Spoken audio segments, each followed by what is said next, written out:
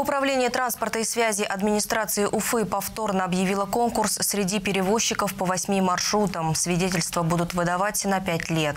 У участников должна быть лицензия на право пассажирских перевозок. На конкурс, в частности, выставлены маршруты 246 от монумента дружбы до микрорайона Мечта, 245 от микрорайона Сосны до СТО, 295 от деревни Самохваловка до ТРЦ «Планета». В качестве критериев оценки перевозчиков учитываются количество ДТП, опыт работы, характеристики транспортных средств и срок их эксплуатации. Заявки принимаются до 22 декабря. Итоги конкурса подведут 19 февраля 2024 года. Отмечу, что объявленный в сентябре конкурс на право перевозок по пяти городским маршрутам был признан несостоявшимся из-за отсутствия заявок.